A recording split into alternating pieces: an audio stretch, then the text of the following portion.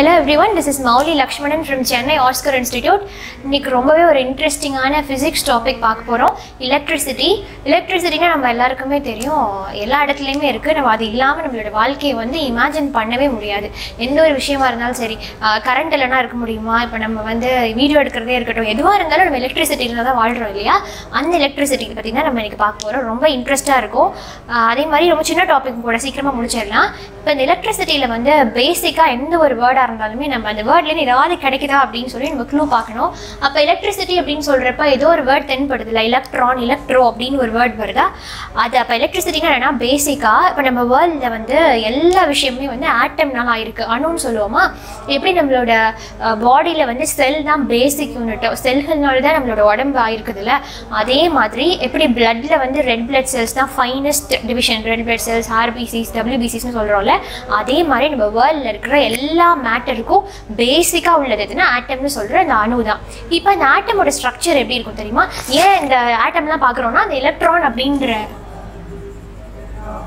இதுலேருந்து டிரைவ் பண்ண இந்த எலக்ட்ரிசிட்டியில் எலக்ட்ரான் ஒரு வேர்ட் வருதா? இந்த எலக்ட்ரான் வந்து நமக்கு ஒரு ஆட்டமில் தான் இருக்கும். இந்த ஆட்டமோட ஸ்ட்ரக்சர் எப்படி இருக்கும்னா ஒரு நியூக்ளியஸ் இருக்கும். எப்படி நம்மளோட செல்ல வந்து நியூக்ளியஸ் இருக்கோ அதே மாதிரி ஆட்டம்லேயும் நியூக்ளியஸ் இருக்கும். ஆட்டம்ல வந்து பேசிக்காக மூணு பார்ட்டிகல்ஸ் இருக்கும்.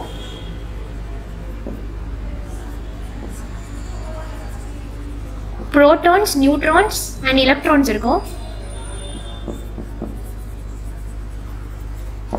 ஒவ்வொன்றுக்கும் ஒவ்வொரு சார்ஜ் இருக்கும் பாசிட்டிவ் சார்ஜ் நெகட்டிவ் சார்ஜ் அந்த மாதிரி.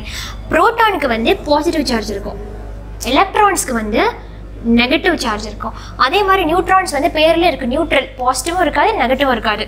ஸோ நியூட்ரலி சார்ஜ் இது பாசிட்டிவ்லி சார்ஜ் இது நெகட்டிவ்லி சார்ஜ் இது வந்து நியூட்ரான்ஸ் வந்து நியூட்ரலி சார்ஜ் இப்போது இந்த எலக்ட்ரான்ஸ் வந்து எங்கே இருக்கும்னா இது தான் ஆட்டம்னா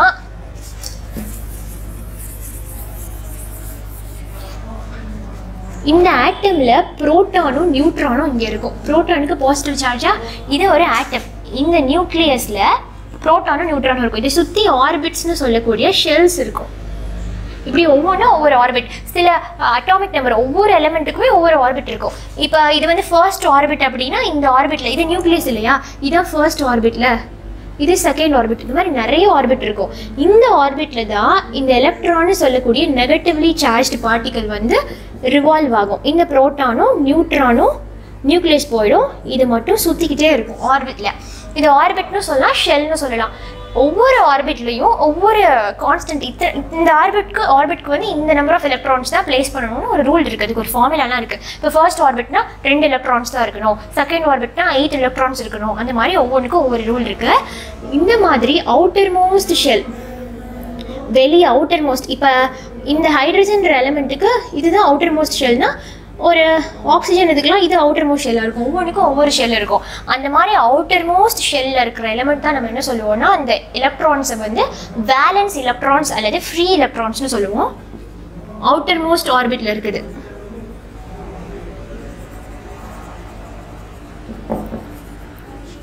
வேலன்ஸ் ஆர் ஃப்ரீ எலக்ட்ரான்ஸ் இதனால ஞாபகம் வச்சுக்கோங்க. பின்னாடி இதை வச்சு ஒரு கான்செப்ட் பார்ப்போம். அப்போ இந்த எலக்ட்ரான்ஸுடைய ஃப்ளோ இந்த எலக்ட்ரான்ஸோட மூவ்மெண்ட்டை தான் நம்ம வந்து எலக்ட்ரிசிட்டின்னு சொல்கிறோம் இந்த எலக்ட்ரான்ஸ் அப்போ எலக்ட்ரிசிட்டினா பேசிக்காக என்ன?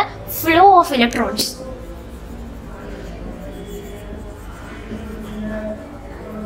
flow of electrons தான் நம்ம வந்து எலக்ட்ரிசிட்டின்னு சொல்லுவோம். அப்போ எலக்ட்ரிசிட்டி அப்படின்றது போய் நம்ம கரண்ட்டில் கை வச்சாலோ இல்லை ஒயர்லேயோ அப்படி தான் பாஸ் ஆகுமா அப்படின்னா கிடையாது. பேசிக்காக நம்ம ஹியூமன் பாடியிலேயே வந்து எலக்ட்ரிசிட்டி இருக்குது எங்கே அப்படின்னு பார்த்தோன்னா நம்மளோட ஹார்ட்டில் இதுக்கு முன்னாடி ஒரு வீடியோ நீங்கள் பார்க்கணுன்னா போய் பாருங்கள் ஹார்ட்டில் வந்து என்ன ஆகும்னா ஹார்ட் வந்து கார்டியோ கார்டியாக் மசில்ஸ்னால ஆயிருக்குன்னு பார்த்தோமா? இப்போ இந்த கார்டியாக் மசில்ஸ் வந்து கான்ட்ராக்ட் ஆகி ரிலாக்ஸ் ஆகும்ல. அப்போ கான்ட்ராக்ட் ஆகும்போது அந்த இடத்துல எலக்ட்ரிசிட்டி ப்ரொடியூஸ் ஆகும். அதை மெஷர் பண்ணுறதுக்காக தான் நம்ம வந்து எலக்ட்ரோ கார்டியோகிராம் அப்படின்ற இசிஜி வச்சு மெஷர் பண்ணுவோமா? அந்த எலக்ட்ரிசிட்டி மெஷர் பண்ணுறதுக்கு தான் நம்ம எலக்ட்ரோ கார்டியோகிராம் யூஸ் பண்ணி அந்த கிராஃப் வச்சு நம்ம எப்படி நம்மளோட ஆக்டிவிட்டீஸ் இருக்குது அப்படின்னு பார்ப்போம்.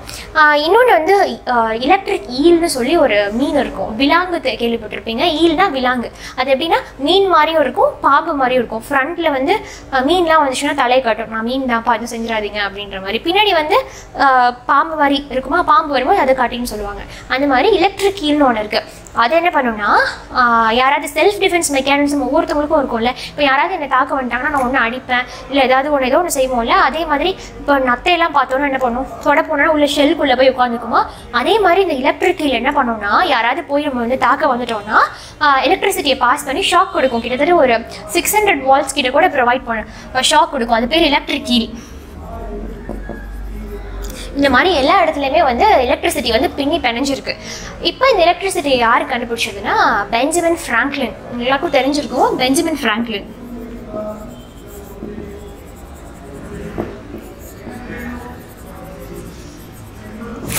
இந்த பெஞ்சமின் ஃப்ராங்க்லின் தான் வந்து எலக்ட்ரிசிட்டியை வந்து கண்டுபிடிச்சது. எலக்ட்ரிசிட்டி எப்படி ஜென்ரேட் ஆகும்? ஜெனரேட்டர் அப்படின்னு சொல்கிற அதை யூஸ் பண்ணி தான் நம்ம என்ன பண்ணுவோம்? ஜென்ரேட் பண்ணுவோம் எலக்ட்ரிசிட்டியை அதை முன்னாடி அந்த காலத்தில் வந்து டைனமோன்னு சொல்லுவோம். அந்த டைனமோவை கண்டுபிடிச்சது தான் வந்து மைக்கேல் ஃபேரடே அந்த மைக்கேல் ஃபேரடே வந்து நம்ம வந்து ஃபாதர் ஆஃப் எலக்ட்ரிசிட்டின்னு சொல்கிறோம் ஆக்சுவலாக இன்வென்ட் பண்ணது பெஞ்சமின் ஃப்ராங்க்லின். அதை வந்து டைனமோவை கண்டுபிடிச்சது மைக்கேல் ஃபேரடேன்றதுனால ஃபாதர் ஆஃப் எலக்ட்ரிசிட்டி வந்து மைக்கேல் ஃபேரடே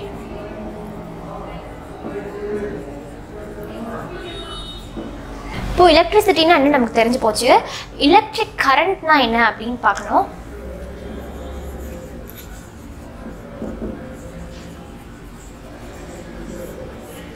கரண்ட்னா என்ன? கரண்ட்னா இப்போ கரண்ட்டாக என்ன நடந்துட்டு இருக்கு அப்படின்னா சொல்லுவாங்கல்ல கரண்ட் எஃப்ஐஆர் சொல்லலாம் இப்போ என்ன நடந்துட்டு இருக்கு அப்படின்றது எலக்ட்ரிக்னா எலக்ட்ரான்ஸ் எலக்ட்ரிசிட்டினா என்ன? எலக்ட்ரான்ஸ் வந்து ஃப்ளோ ஆகுறது தான் நம்ம எலக்ட்ரிசிட்டின்னு சொல்லியாச்சு.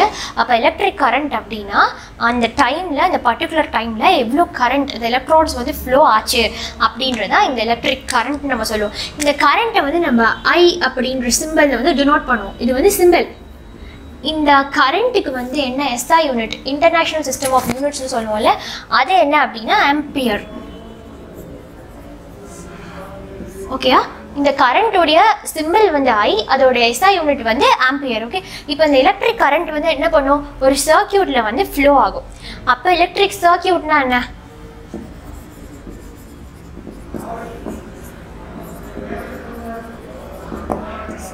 எலக்ட்ரிக் சர்க்கியூட் அப்படின்றது ஒரு லூப் சர்க்கியூட்னால என்ன? சர்க்கிள் அப்படின்ற வார்த்தை வருதா. சர்க்கிள்னா ஒரு க்ளோஸ்டு பாத் இல்லையா?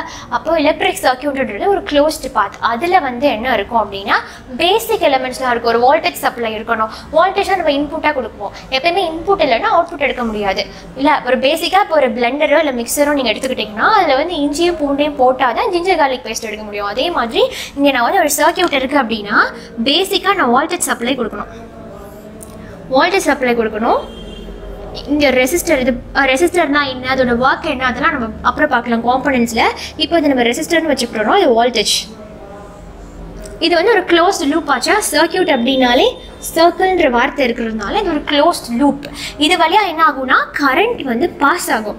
கரண்ட்டோட டைரக்ஷன் எப்பவுமே எப்படி இருக்கும் அப்படின்னா பாசிட்டிவ்லேருந்து நெகட்டிவ் தான் ஃப்ளோ ஆகும். நீங்கள் இப்படி டைரக்ஷன் போட்டிங்கன்னா அது ஃபுல்லாகவே தப்பு.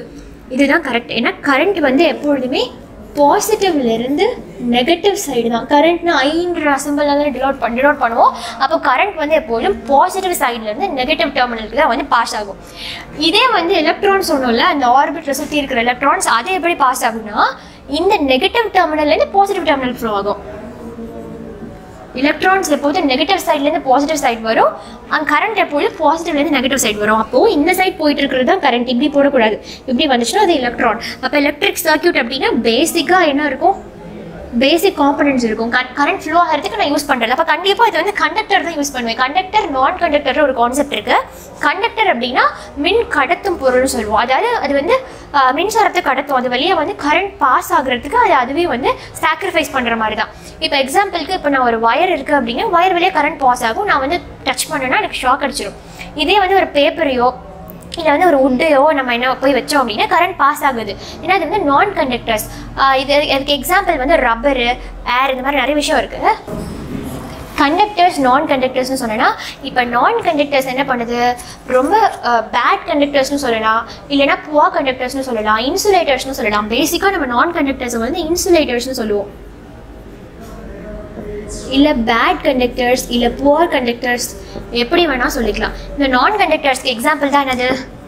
சல்ஃபர் உட்டு பாஸ்பரஸ் இது உட் ஓகே இது பாஸ்பரஸ் காற்றுமே வந்து நான் கண்டக்டர் தான். ஏன்னா காற்றுல கை வச்சா ஷாக் அடிக்குது இல்லைல்ல. இப்போ ரப்பருமே வந்து நான் கண்டக்டர் அதனால தான் எப்போதும் இந்த எலக்ட்ரிசிட்டி லேப்லாம் நீங்கள் போனீங்கன்னா அந்த லேபரட்டரிஸ்லாம் வந்து ரப்பர் ஷூஸ் போட சொல்லுவாங்க. ஏன்னா ரப்பர் ஷூஸ் வந்து அது வழியாக வந்து அந்த எலக்ட்ரிசிட்டியை கண்டக்ட் பண்ணாது. ஸோ அது வந்து பேட் கண்டக்டர் கண்டக்டர்ஸ்னால் என்ன? நமக்கே தெரியும். இந்த ஒயர் அப்புறம் கேலியம் செமி கண்டக்டர்ஸ்னு ஒரு கான்செப்ட் இருக்குது அது எப்படின்னா செமி கண்டக்டர்ஸ் வந்து பார்ஷியலாக கண்டக்ட் பண்ணும். இந்த சைடும் கிடையாது அந்த சைடும் கிடையாது. ஆம், அரை வேக்காடு சொல்லுவோம்ல வெந்திருக்கும் வெந்திருக்காது வேகாமலும் இருக்காது. அதே மாதிரி செமி கண்டக்டர்ஸ் அப்படிங்கிறது வந்து பார்ஷியலாக கண்டக்ட் பண்ணும். இந்த செமி கண்டக்டர்ஸ் தான் நம்ம வந்து என்ன பண்ணுவோம்னா எலக்ட்ரிக் டிவைசஸ்லாம் யூஸ் பண்ணுவோம். எலக்ட்ரானிக் சர்க்கியூட்டில் இருக்கிற டிவைசஸ்லாம் நம்ம செமி கண்டக்டர்ஸ் தான் யூஸ் பண்ணுவோம். செமி கண்டக்டர்ஸ்க்கு வந்து பெஸ்ட் எக்ஸாம்பிள் வந்து ஜெர்மேனியமும் சாரி ஜெர்மேனியமும் சிலிகானு தான் இது. இப்போ நீங்கள் இந்த uh, எலமெண்ட்ஸ் கெமிஸ்ட்ரியில் இருக்கிற எலமெண்ட்ஸை நம்ம எழுதும்போது நம்ம இந்த ஸ்டைலிஷ் லெட்டர்ஸ்லாம் யூஸ் பண்ணக்கூடாது. இப்படி தான் எழுதணும் ஃபர்ஸ்ட் கேப்ஸும் செகண்ட் வந்து ஸ்மால் லெட்டர்லையும் ஆர்டினரியாக தான் எழுதணும். அப்போ ஜெர்மானியமும் சிலிக்கானும் தான் வந்து பெஸ்ட் எக்ஸாம்பிள் ஃபார் செமிகண்டக்டர்ஸ் செமிகண்டக்டர்ஸில் நிறைய விஷயம் இருக்குது அதில் இது வந்து பேசிக் எக்ஸாம்பிள் அப்போ எலக்ட்ரிக் கரண்ட்னா நமக்கு என்னென்னு தெரிஞ்சிச்சு? எலக்ட்ரிக் சர்க்கியூட்னா என்னென்னு தெரிஞ்சிச்சு? அப்போ எலக்ட்ரிக் சர்க்கியூட்டில் கரண்ட் பாஸ் ஆகிறதுக்கு ஒரு லூப் மாதிரி வச்சுருப்போமா? அதில் கண்டக்டர் தான் நம்ம யூஸ் பண்ணுவோம். ஓகேயா இப்போ இந்த எலக்ட்ரிக் சர்க்கியூட்டில் என்னென்ன காம்பனன்ட்ஸ் இருக்கும்? பேசிக் காம்பனன்ட்ஸ் என்ன அப்படின்னு பார்ப்போம். இந்த எலக்ட்ரிக் காம்பனன்ட்ஸ் அப்படின்றது வந்து மோஸ்ட் ப்ராபபிளாக நமக்கு வந்து இண்டஸ்ட்ரீஸில் தான் அதை வந்து மேனுஃபேக்சர் பண்ணுவாங்க. இந்த எலக்ட்ரிக் காம்பனன்ட்ஸ் வந்து நமக்கு நிறைய லீட்ஸ் டெர்மினல்ஸ்லாம் இருக்கும். சைடில் டிஸ்ப்ளே ஆகும்போது நீங்கள் பார்த்துக்கோங்க. எப்படின்னா அந்த டெர்மினல்ஸ் வச்சு இப்போ கெப்பாசிட்டர் இப்படி இருக்குது அப்படின்னா இது இந்த இந்த பக்கமும் இந்த பக்கமும் லீட் மாதிரி இருக்கும். குட்டி ஒயர் மாதிரி இருக்கும். அதை நீங்கள் வந்து அடுத்த காம்பனன்ட் கூட கனெக்ட் பண்ணிக்கலாம் இல்லை ஒயர்லேயே கனெக்ட் பண்ணிக்கலாம். அந்த மாதிரி லீட்ஸ் நிறைய வச்சு தான் வந்து இந்த எலக்ட்ரிக் காம்பனன்ட்ஸ் எல்லாம் மேனுஃபேக்சர் பண்ணியிருப்பாங்க. இதில் பேசிக் காம்பனன்ட் எதுனா ரெசிஸ்டர்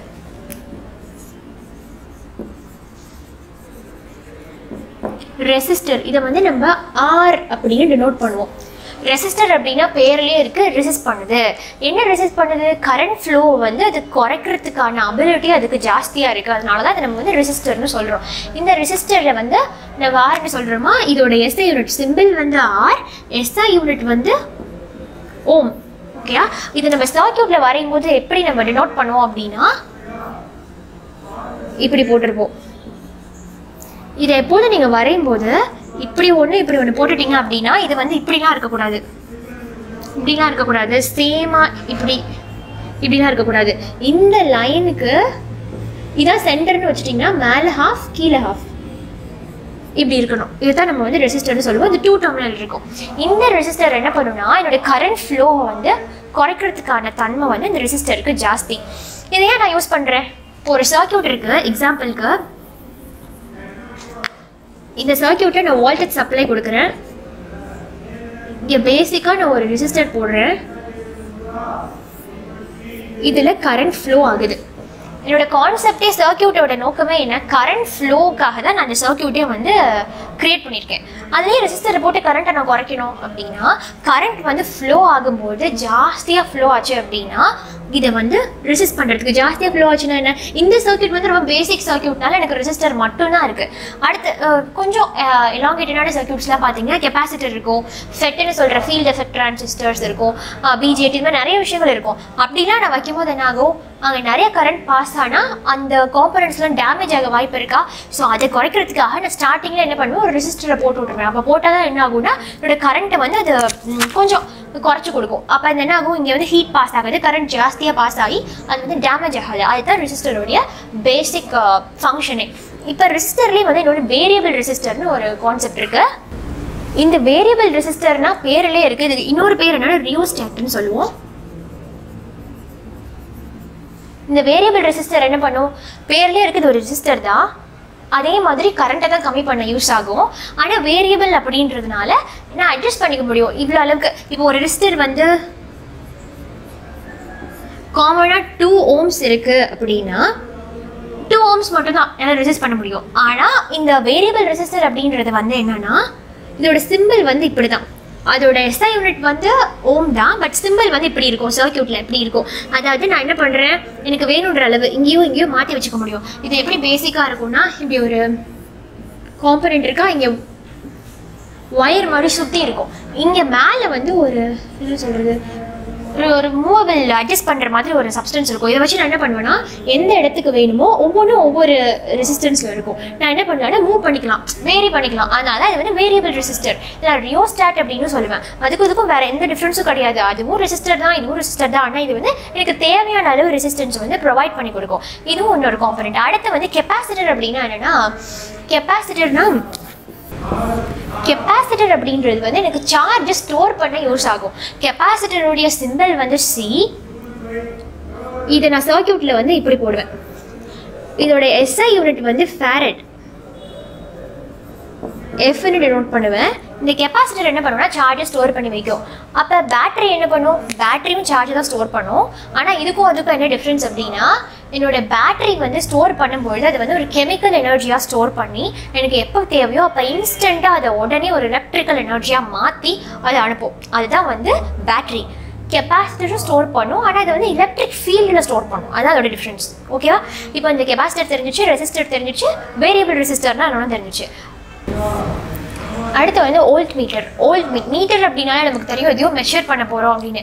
எப்படி வந்து தெர்மோமீட்டர் வந்து என்னோட டெம்பரேச்சர் மெஷர் பண்ண யூஸ் ஆகுதோ ஸ்டிக்மோமேனோமீட்டர் வந்து எனக்கு எப்படி என்னோட பிளட் ப்ரெஷரை வந்து மெஷர் பண்ண யூஸ் ஆகுதோ அதே மாதிரி ஓல்ட் மீட்டர் ஏதோ ஒன்றுக்கு யூஸ் ஆக போகுதுன்னு தெரிஞ்சிச்சு. எதுக்கு யூஸ் ஆகும் அப்படின்னா என்னோட சர்க்கியூட்டில் வந்து என்ன ஆகுது? இதுதான் சர்க்கியூட் அந்த காம்பனன்ஸாக நீங்கள் பார்த்து சும்மா இமேஜின் பண்ணிக்கோங்க. இப்போ என்னோட சர்க்கியூட்டில் வந்து கரண்ட் பாஸ் ஆகுமா?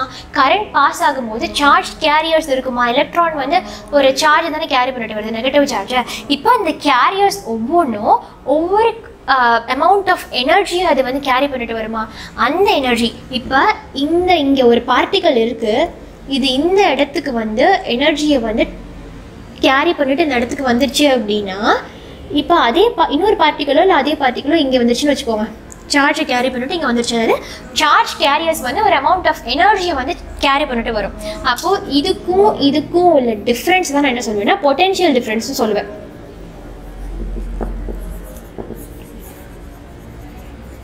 இந்த பொட்டென்ஷியல் டிஃப்ரென்ஸை மெஷர் பண்ணுறது தான் ஓல்ட் மீட்டர் அப்போ ஓல்ட் மீட்டர் எதுக்கு யூஸ் ஆகும்? பொட்டென்ஷியல் டிஃப்ரென்ஸை வந்து மெஷர் பண்ண யூஸ் ஆகும். இதை வந்து இதை சர்க்கியூட்டில் போடும்போது எப்படி சிம்பிளில் போடுவோம்னா இப்படி ஒரு வி ரவுண்ட் போட்டு இப்படி கனெக்ட் பண்ணிடுவோம். இதில் வந்து எந்த ஒரு ஸ்டைலிஷ் லெட்டர்ஸும் யூஸ் பண்ணக்கூடாது. இப்படி ஒரு கேப்ஸ் வி போட்டு இதுதான் வந்து அதோட சிம்பிள் சர்க்கியூட்டில் நான் ஒரு வி போட்டு தான் யூஸ் பண்ணுவேன். ஓல்ட் மீட்டர் எதுக்கு யூஸ் ஆகுது?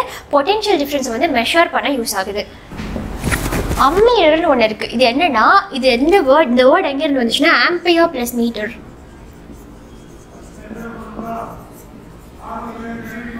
ஆம்பியர் என்னது?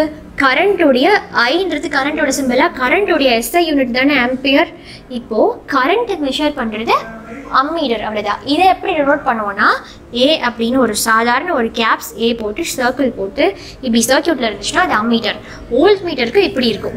ஓகேயா அடுத்த கேல்வனோமீட்டர் கேல்வனோமீட்டர் என்ன பண்ணோம் அப்படின்னா அதுவும் வந்து கரண்ட்டை தான் மெஷர் பண்ணும். அப்போ அம்மீடர் என்ன பண்ணும்? அதுவும் கரண்ட்டை தான் மெஷர் பண்ணும். ஒரு டிஃப்ரென்ஸ் என்ன அப்படின்னா அம்மீடர் வந்து எனக்கு மேக்னிடியூட்டை மட் மேக்னிடியூட் மட்டும் தான் காட்டி கொடுக்கும். அதாவது இது வந்து வெறும் மேக்னிடியூட் எந்த அளவு கரண்ட் பாஸ் ஆயிருக்கு அப்படின்றது மட்டும் தான் வந்து இந்த அம்மீட்டர் வந்து இண்டிகேட் இண்டிகேட் பண்ணும். ஆனால் இந்த கேல்வனோமீட்டர் என்ன பண்ணும்? எனக்கு எவ்வளோ மேக்னிடியூட் கரண்ட் பாஸ் ஆயிருக்கு? என்ன டைரக்ஷனில் பாஸ் ஆயிருக்கு அப்படின்றதையும் அது சொல்லிடும். அதாவது எவ்வளோ இப்போ வந்து ஃபைவ் ஆம்ஸா ஓகே அது மட்டும் தான் சொல்லும். இது ஃபைவ் ஆம்ஸ் என்ன டைரக்ஷன்லேயும் போயிருக்கு அப்படின்றதையும் சேர்த்து சொல்கிறது தான் கேலோமீட்டரோட வேலை. இதுதான் பேசிக் டிஃப்ரென்ஸ் இப்போ டயோட் அப்படின்றது ஒரு டூ டெர்மினல் டிவைஸ் டயோட்னா பேர்லேயே டைன் வந்துருச்சுல ஸோ அது ஆப்வியஸாக டூ டெர்மினல் டிவைஸ் தான். இதோட சிம்பிள் வந்து இப்படி இருக்கும்? இது பாசிட்டிவ் சைட் இது நெகட்டிவ் சைட் அதாவது அந்த சர்க்கியூட்டில் வந்து இந்த சிம்பிள் இப்படி தான் இருக்கும். இதில் வந்து சார்ஜ் வந்து எப்பொழுதுமே ஒரே ஒரு டைரக்ஷனில் மட்டும் தான் பாஸ் ஆகும். இப்படின்னா இப்படி அப்படின்னா அப்படி. நம்ம ஃபார்வர்ட் பயஸ்னு சொல்லுவோம் ரிவர்ஸ் பயஸ்னு சொல்லுவோம்.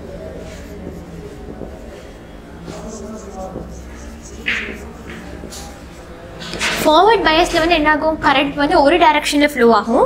ரிவர்ஸ் பயஸில் வந்து பாஸ் ஆகாது. பாஸ் ஆகாதுன்னா அப்போ ரெசிஸ்ட் பண்ணுதுன்னு அர்த்தம் இல்லை கரண்ட்டு அப்போ இங்கே வந்து ரெசிஸ்டன்ஸ் வந்து ஜாஸ்தியாக இருக்கும். ரிவர்ஸ் பயஸில் பாஸ் ஆகாது. ஃபார்வர்ட் பயஸில் பாஸ் ஆகும். அதாவது டயோடில் வந்து கரண்ட் ஒரே ஒரு டைரக்ஷனில் மட்டும்தான் பாஸ் ஆகும்.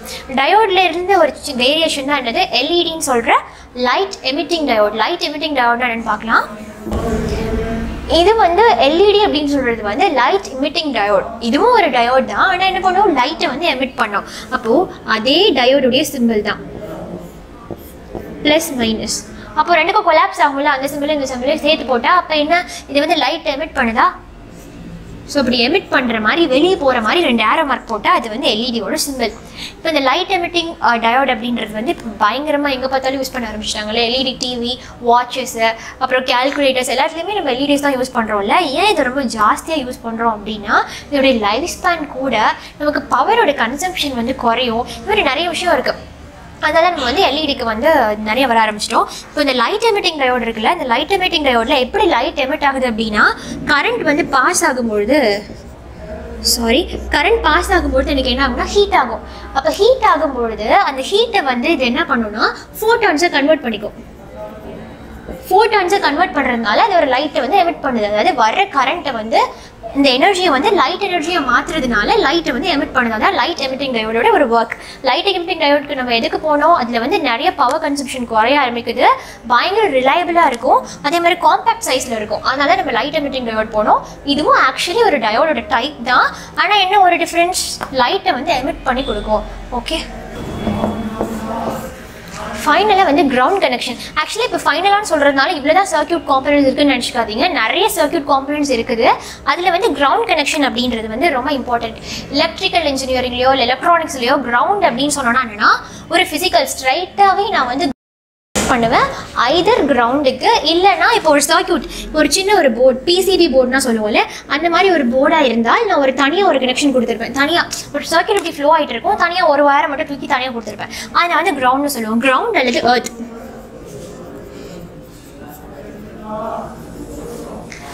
இதுக்கு வந்து சிம்பிள் எப்படி சர்க்யூட்ல சிம்பிள் எப்படி இருக்கும் அப்படின்னா இதுதான் சிம்பிள் அதாவது டிக்ரீசிங் லென்த்தில் வந்து மூணு லைன் போட்டிருப்பேன். நிறைய மாதிரி யூஸ் பண்ணுவோம். இப்படி சில சிம்பிள்ஸ் இருக்கும். இப்படியும் சில சிம்பிள்ஸ் இருக்கும். இப்படியும் சிம்பிள்ஸ் இருக்கும். அதாவது கிரவுண்ட்னா என்னன்னா என்னோட கனெக்ஷனை வந்து கிளிக் கீழே கொடுக்குறேன். இப்போ இந்த சர்க்யூட்டை நான் கனெக்ட் பண்ணியிருப்பேன்னு சொன்னல இப்போ கிரவுண்ட் கனெக்ஷன் நான் கொடுக்கல. இல்லை கிரவுண்ட் கனெக்ஷன் ஒர்க் ஆகலை அப்படின்னா என்னோட காம்பனன்ஸ் வந்து ஒழுங்காக ஒர்க் ஆகுமா? எனக்கு தேவையான அவுட்புட் கிடைக்குமானா? தாராளமாக கண்டிப்பாக கிடைக்கும். ஆனால் என்ன பிரச்சனை? கிரவுண்ட் நான் ஏன் யூஸ் பண்ணுறேன்னா இப்போ சப்போஸ் என்னோட எலிமெண்ட்ஸ் எலக்ட்ரிக் காம்பனன்ஸ் எல்லாமே நான் பாஸ் பண்ணிகிட்டு இருக்கேன் பாஸ் பண்ணும்போது திடீர்னு கரண்ட் வந்து ஜாஸ்தி ஆயிடுச்சுன்னா நான் நியூட்ரலாக கிரவுண்டுக்கு அனுப்பிச்சிருவேன். இதுதான் கிரவுண்ட் வச்சுக்கோங்களேன். கிரவுண்டுக்கு வந்து ரெசிஸ்டன்ஸ் கிடையாது.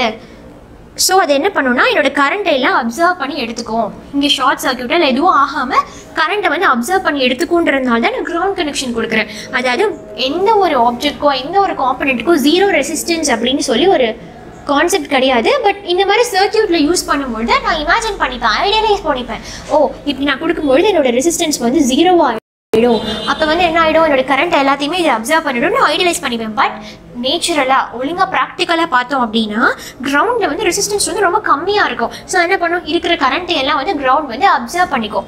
இப்போ இந்த கிரவுண்டோட எர்த்தில் வந்து நம்மளோட வீட்லேயே நம்ம சப்ளை பவர் ஸ்டேஷன்லேருந்து வரும்போது சப்ளை கொடுக்கும்போது எல்லாத்தையுமே கிரவுண்ட் ஒயர்ஸ்னால கனெக்ட் பண்ணியிருப்பாங்க அதனால இந்த லைட்னிங் ப்ரொடெக்டர்ஸ்லாம் இருக்கும்ல மின்னல் வரும்பொழுது கீழே கிரவுண்டுக்கு போயிடும் எல்லாத்தையும் வந்து ஏர்த் அப்சர்வ் பண்ணுறதுனால தான் அங்கே மேலே வந்து இன்ஸ்டால் பண்ணியிருக்கிறதோட உள்ளே இருக்கிற ஃபினாமினே இது தான் ஆக்சுவலி கிரவுண்ட் கனெக்ஷன்றது ரொம்ப இம்பார்ட்டன்ட் அது இல்லைன்னா ஒர்க் ஆகும். பட் ஆனால் அது இருந்தாலும் அதெல்லாம் தப்பிக்கும். அடுத்த ஓம்ஸ்லா ஓம்ஸ்லா அப்படின்றது எப்படி ஒரு ஃபிசிசிஸ்ட்டுக்கெலாம் வந்து ஐன்ஸ்டனோட equation E equal to MC square இம்பார்ட்டண்ட்டோ அதே மாதிரி எலக்ட்ரானிக்ஸில் இந்த ஓம்ஸ்லா வி ஈக்குவல் டு ஐஆர் அப்படின்னு சொல்கிறது வந்து ரொம்ப ரொம்ப இம்பார்ட்டண்ட் இதை வந்து நீங்கள் த அப்படி ஐ ஈக்குவல் டு விஆர் அப்படிலாம் போட்டுறாதீங்க. இது ரொம்ப பேசிக் ஈக்குவேஷன் இந்த ஓம்ஸ்லா அப்படின்றது ஒன்றும் இல்லை. இந்த ஓம் அப்படின்றவங்க வந்து இங்கே சர்க்கியூட் எப்படி இருக்கா? சர்க்கியூட் ஒரு பேசிக் சர்க்கியூட் எடுத்துப்போமே.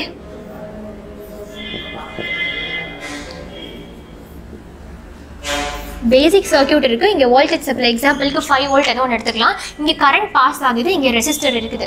இங்க ரெசிஸ்டரும் இதுக்கும் கரண்ட்டுக்கும் ரெசிஸ்டருக்கும் வோல்டேஜ்க்கும் உள்ள கனெக்ஷன் என்ன அப்படின்றத சொன்னது தான் வந்து இந்த வி ஈக்குவல் டு ஐஆர் அப்படின்ற அந்த ஈக்குவேஷன் இப்போ வி ஈக்குவல் டு ஐஆர் அப்படின்னு தெரிஞ்சிச்சு இதுதான் ஈக்குவேஷன் ஆக்சுவலாக இங்கே வந்து கொடுக்குற வோல்டேஜ் வந்து it is directly proportional to current and resistance அதாவது என்னன்னா எனக்கு எவ்வளோக்கு எவ்வளோ வோல்டேஜ் அதிகமாக இருக்கோ அவ்வளோக்கு அவ்வளோ என்னோட கரண்ட்டும் வந்து அதிகமாக தான் பாஸ் ஆகும். இவ்வளோ வோல்டேஜ் கொடுத்தா ஜாஸ்தியாக தான் வந்து கரண்ட்டும் பாஸ் ஆகும். அதே மாதிரி எவ்வளோ வோல்டேஜ் ஜாஸ்தியாக இருக்கோ அதே மாதிரி ரெசிஸ்டரையும் நான் வந்து அதிகமாக தான் கொடுத்துருப்பேன். அதாவது ஒரு சர்க்கியூட்டில் இருக்கிற வோல்டேஜுக்கு டைரக்ட்லி ப்ரப்போர்ஷனலாக தான் அதோட கரண்ட்டும் ரெசிஸ்டன்ஸும் இருக்கும் அப்படின்றதான் இந்த ஈக்குவேஷன் ரொம்ப simple P equal to IR நிறைய அடுத்தடுத்து வர சர்க்கியூட் சிம்பிளிஃபிகேஷன் இதெல்லாம் வந்து நம்ம இந்த வி ஈக்குவல் டு ஐஆர் அப்படின்ற கான்செப்ட் நிறைய யூஸ் பண்ணுவோம். ஸோ பேசிக்காக அதை ஞாபகம் வச்சுக்கோங்க.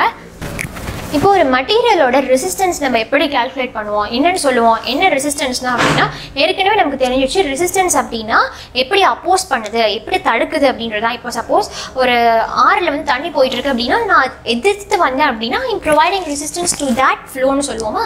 அதே மாதிரி இங்கே ஒரு மெட்டீரியலோட ரெசிஸ்டன்ஸ் நம்ம எப்படி சொல்லுவோம்னா எவ்வளோ தூரம் அது வந்து கரண்ட்டை அப்போஸ் பண்ணுது இல்லை அது கரண்ட்டை வந்து குறைக்கிற அபிலிட்டி இருக்கோ அதை நம்ம வந்து ரெசிஸ்டன்ஸ்னு சொல்லுவோம். அப்போ வி ஈக்குவல் டு ஐஆர் அப்படின்ற அந்த ஈக்குவேஷன் நமக்கு தெரிஞ்சிச்சு அப்போ ரெசிஸ்டன்ஸ் அப்படின்னு சொல்லும்போது விஒய் ஐ தானே. அதுலேருந்து எல்லாத்தையுமே டிரைவ் பண்ணிடலாம். அப்போது ஒரு மெட்டீரியலோட ரெசிஸ்டன்ஸ் வந்து எப்படி இருக்கும்னா வால்டேஜ்க்கு டைரக்ட்லி ப்ரொபோஷனலாக இருக்கும். எவ்வளோ ரெசிஸ்டன்ஸ் நான் கொடுக்குறேனோ அதே அளவு வால்டேஜ் இருக்கும். ஆனால் it is inversely proportional to current கரண்ட்டுக்கு அது இன்வர்ஸ்லி ப்ரொபோஷனலாக இருக்கும். ரெசிஸ்டன்ஸ் கூடிக்கிட்டே போச்சுன்னா கரண்ட் கம்மி ஆகிட்டு இருக்கும். அப்போ எந்த ஒரு விஷயத்தில் வந்து கரண்ட் ரொம்ப கம்மியாக ஃப்ளோ ஆகுதோ அப்போ என்ன ஆச்சு அங்கே ரெசிஸ்டன்ஸ் வந்து இதை அப்சர்வ் பண்ணி குறைச்சிச்சுன்னு ஒருத்தோம் அப்போ அங்கே ரெசிஸ்டன்ஸ் ஜாஸ்தியாக இருக்குது அப்போ கரண்ட் குறைஞ்சா ரெசிஸ்டன்ஸ் கூடும். ரெசிஸ்டன்ஸ் குறைஞ்சா கரண்ட் வந்து கூடும். ஓகே இப்போ எலக்ட்ரிக்கல் ரெசிஸ்டிவிட்டி அப்படின்றது வந்து எவ்வளோ தூரம் வந்து என்னோட அந்த எலக்ட்ரிக்கல் பாத்தில் ரெசிஸ்டன்ஸ் இருக்குது அப்படின்றத கால்குலேட் பண்ணுற ஒரு விஷயம் தான் இது எப்படி நான் கால்குலேட் பண்ணுவேன்னா இப்போ ஒரு ஒயர் இது எது பேஸ் பண்ணியிருக்குன்னா இப்போ ஒரு ஒயர் இருக்குது அப்படின்னா இதோட லென்த் இதுவாக இதை நம்ம லெங்க்த்னு எடுத்துக்கிட்டோம்னா இதோட ரெசிஸ்டன்ஸ் ஆர் இந்த ஒயரோட ரெசிஸ்டன்ஸ் வந்து ஆர் இப்போது இந்த பிரெத் அதை வந்து ஏரியான்னு வச்சுப்போம். கிராஸ் செக்ஷனல் ஏரியான்னு வச்சுக்கலாம். இப்போது என்னோட எலக்ட்ரிக்கல் ரெசிஸ்டிவிட்டி எதை பேஸ் பண்ணியிருக்கோன்னா எவ்வளோக்கு எவ்வளவு என்னோட ஒயர் வந்து லெங்க்த்தியாக இருக்கோ அவ்வளோக்கு அளவு ரெசிஸ்டன்ஸ் வந்து ஜாஸ்தியாக இருக்கும். அதே மாதிரி இந்த ஏரியா அப்படின்றது ரெசிஸ்டன்ஸ் கூடுச்சுன்னா ஏரியா குறைஞ்சிருக்கும். அதாவது ஏரியா வந்து கூட கூட ரெசிஸ்டன்ஸ் வந்து குறையும். ஸோ அதனால ஒயர்லாம் வந்து தின்னாக நீட்டமாக இருக்கும். ஸோ இப்போ நம்ம எப்படி பண்ண இதை வந்து டிரைவ் பண்ணலாம்? என்னோட ரெசிஸ்டன்ஸ்க்கு வந்து லென்த் வந்து டைரக்ட்லி ப்ரொபோஷனல் ஆனால் ஏரியா வந்து இன்வெர்ஸ்லி ப்ரொபோஷனலா ஏன்னா ரெசிஸ்டன்ஸ் கூட கூட ஏரியா குறையும். ஏரியா வந்து கூட கூட ரெசிஸ்டன்ஸ் குறையும். அதனால இது இட் இஸ் இன்வெர்ஸ்லி ப்ரொபோஷனல் இப்போ எப்போதுமே ஒரு ப்ரொபோஷனாலிட்டி கான்ஸ்டன்ட் இன்ட்ரடியூஸ் பண்ணிவிட்டு இதை நான் வந்து இதை தூக்கிடுவேனா? ஸோ அப்போ நான் இங்கே வந்து என்ன பண்ணுறேன்னா ரோ அப்படின்னு ஒரு ப்ரொபஷனாலிட்டி கான்ஸ்டன்ட் வந்து யூஸ் பண்ணுறது நம்ம என்ன சொல்லுவோம்னா ரோன்னு சொல்லுவோம். ஒரு ப்ரொபஷனாலிட்டி கான்ஸ்டன்ட்டை வந்து நாங்கள் இன்ட்ரடியூஸ் பண்ணிட்டேன். இப்போது லென்த்துக்கு வந்து டைரக்ட்லி ப்ரொபோஷனலாக இருக்குது ஏரியாவுக்கு வந்து இன்வர்ஸ்லி ப்ரொபோஷனலாக இருக்கா? இந்த கடைசியாக இருக்கிற ஸ்டெப் தான் இங்கே எழுதியிருக்கேன். இப்போ என்ன ஆகும்? எனக்கு இந்த ரோ அப்படின்னு ரெசிஸ்டிவிட்டின்ற இதுதான் வந்து நம்ம ரோன் நோட் பண்ணியிருக்கோம். இப்போ எனக்கு ரோ மட்டும் தான் வேணும் அப்படின்னு சொல்லும்பொழுது இந்த ஏன்ற ஏரியா மேலே போயிடுமா? எல்ன்றது கீழ் வந்துருமா? டிவிஷனில் மல்டிப்ளிகேஷன் இருக்கிறது டிவிஷன் வரும். டிவிஷனில் இருக்கிறது மல்டிப்ளிகேஷனில் போகணும் தெரியும்ல. அப்போ ஒவ்வொன்றுக்கும் தனித்தனியாக எஸ்ஐ யூனிட் இருக்குல்ல. அப்போ ரெசிஸ்டன்ஸ்க்கு எஸ்ஐ யூனிட் என்ன? ஓம் அப்போது ஏரியாவுக்கு வந்து மீட்டர் ஸ்கொயர் வருமா? லெங்க்த்துக்கு வந்து மீட்டர் வருமா? இதுவும் இதுவும் கேன்சல் ஆகிடுமா ரெண்டு இருக்கிறதுனால ஒன்று கேன்சல் ஆகிடும் அப்போ ஆக்சுவலாக ரோ அப்படின்றதுக்கு வந்து எஸ்ஐ யூனிட் வந்து ஓமிக் மீட்டர் அப்படின்னு சொல்லுவோம். அது தான் இப்போ ரெசிஸ்டிவிட்டி அப்படின்றது வந்து எதை பேஸ் பண்ணியிருக்கு? லெங்க்த்தையும் கிராஸ் செக்ஷனல் ஏரியா வந்து பேஸ் பண்ணியிருக்கு. லெங்க்த்துக்கு வந்து அது டேரக்ட்லி ப்ரொபோஷனல் கிராஸ் செக்ஷனல் ஏரியாவுக்கு வந்து அது இன்வெர்ஸ்லி ப்ரொபோஷனல் இப்போது குரூப்பிங் ஆஃப் ரெசிஸ்டர்ஸ்னு பார்ப்போம். இந்த டாபிக் என்னன்னா பேர்லேயே இருக்கு. நான் ரெசிஸ்டர்ஸ் எல்லாமே குரூப் பண்ண போகிறேன் நம்ம பேசிக் சர்க்யூட் பார்க்கும்பொழுது ஒரு ரெசிஸ்டர் ஒரு வோல்டேஜ் சப்ளை அதில் பாஸ் ஆகுற கரண்ட் இருந்ததா? இதே சப்போஸ் ரெண்டு மூணு நாலு எத்தனை ரெசிஸ்டர் வேணாலும் நம்ம போட்டுக்கலாம்ல? அப்படி இருக்கும்போது நான் வந்து சர்க்கியூட்டை சிம்பிளிஃபை பண்ணாதான் எவ்வளோ வோல்டேஜ் பாஸ் ஆயிருக்கு எவ்வளோ கரண்ட் பாஸ் ஆயிருக்கு அப்படின்றது நான் கண்டுபிடிக்க முடியும்.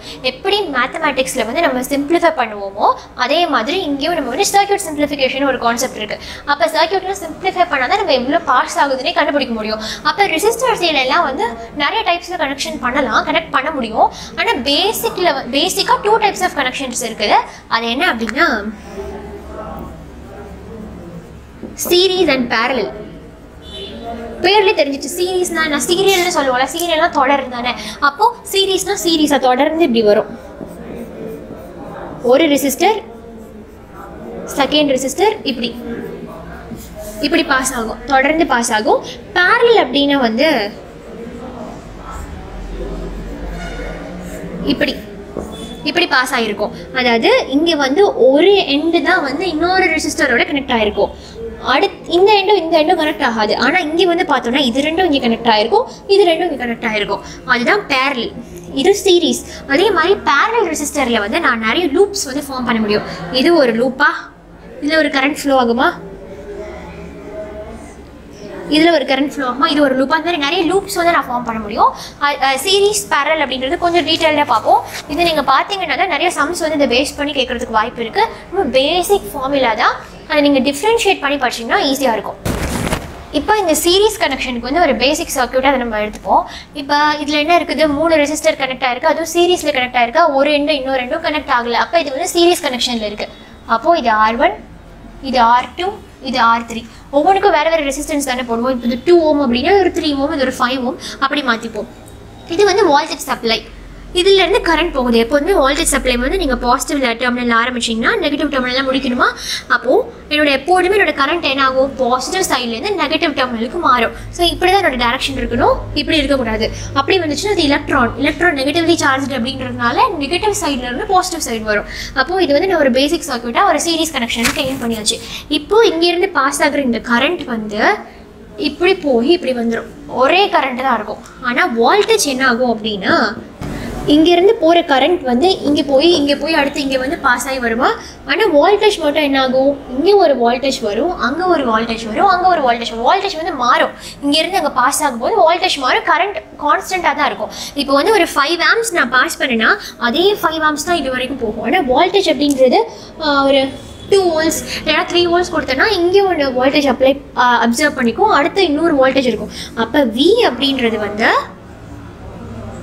வி ஒன்னுக்கு வந்து இந்த இடத்துல வி ஒன் அப்படின்ற வால்டேஷன் எடுத்துக்கலாமா? இங்கே வந்து வி டூ அப்படின்னு எடுத்துக்கலாமா? இங்கே வி த்ரீ அப்படின்னு எடுத்துக்கலாமா? இது மூணையும் ஆட் பண்ணால் எனக்கு வால்டேஜ் கிடச்சிரும். வால்டேஜ் வந்து மாறும் பட் கரண்ட் வந்து ஒன்று தான் இங்கே மெயினாக வந்து கரண்ட் ஒன்று கரண்ட் அப்படின்றது I one I two I three அதாவது இங்கே பாஸ் ஆகிற கரண்ட் ஐ ஒன் இங்கே பாஸ் ஆகிற கரண்ட் ஐ டூ இங்கே பாஸ் ஆகிற கரண்ட் வந்து ஐ த்ரீன்னு எடுத்தாச்சு.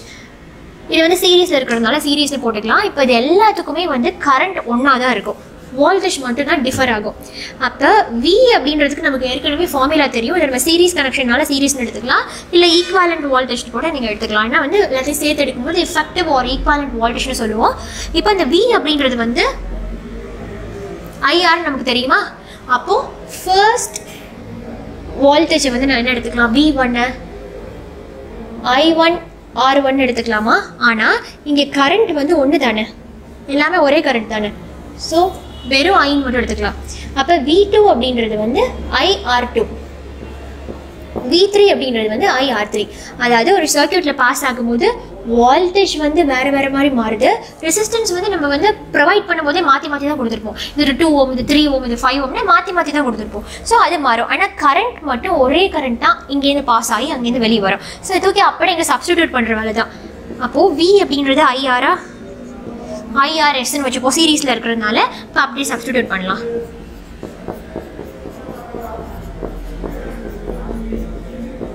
இங்கே இருக்கிற எல்லா ஐயும் கேன்சல் ஆகிடுமா இப்போ என்ன வரும்?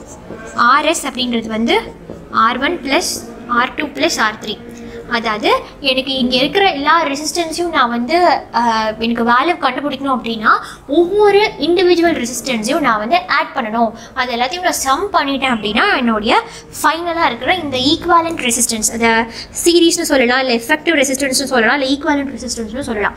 இந்த டோட்டலாக எனக்கு இருக்கிற வேல்யூ இப்படி தான் கிடைக்கும்.